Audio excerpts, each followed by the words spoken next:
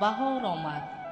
بهاری پرسخاوت زندگانی و طبیعت را روح و روانی نو عطا می نماید بابای دهقان و اطراف نگریسته امید می بندد به فیض و برکتی دسترخان ریسک و روزی فرزندان.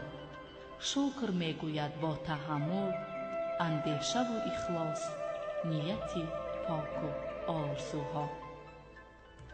Баҳор ҳар сол меояд вале табиаташ ин аст ки мо инсонҳоро ҳаргиз тарк намегӯяд ва аз худ дар ҳама ҷо нақшеву нишоне мегузорад.